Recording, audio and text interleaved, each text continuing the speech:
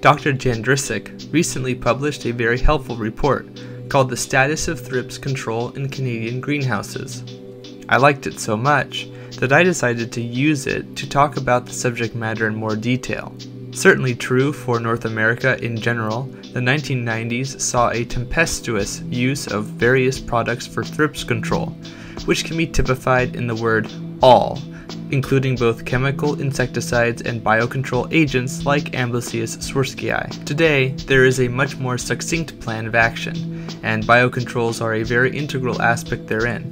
According to a Vineland Research and Innovation Center survey, they're still the number one crop pest due to their constant presence, requiring constant controls,